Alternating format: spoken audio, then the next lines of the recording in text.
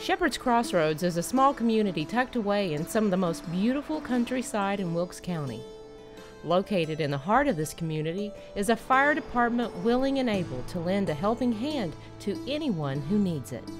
We're nowhere near a major highway or anything. We're uh, very rural. It kind of just puts us kind of away from everything. But uh, we're always willing to help any department anywhere in the county. It would seem that by being a volunteer fireman in this quiet little community, there wouldn't be a lot of action. That's not necessarily true. Well, mainly out here it would be uh, chicken houses uh, and uh, the woodland would be the biggest thing we got around here. Along with fire protection and first responder duties, a fireman in Shepherd's Crossroads has other obligations as well. Trying to, trying to help anybody in any way we can, uh, whether it be fire or uh, I've had calls with cats up a tree and, and all kinds of stuff like that. It was also very interesting to discover inside the fire station a very important and historical piece of equipment. Definitely a crowd favorite at the local parades. Uh, we bought the truck uh, in 1975 from Schwager's Fire Equipment in South Boston.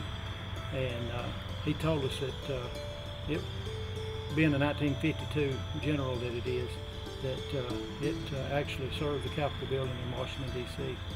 Recruitment is a top priority on the fire chief's list. Right now, with the age of the fire department and everything, uh, we're starting to get a little age on, on a lot of our firemen and everything, and uh, we don't have quite the, the, young people that we used to have, so uh, now we're looking for younger people to, to volunteer. We meet uh, every Monday night. We have every Monday night. We've done that since 1975. Along with helping the citizens of your community, being a volunteer fireman gives you the opportunity to gain valuable experience and it teaches you to work as a team. Well, we have we try to have at least uh, 36 hours training a year uh, here at the station, and then you have uh, classes through community college and and through other means, uh, other surrounding counties that uh, have fire schools and everything, and it uh, it works out pretty good.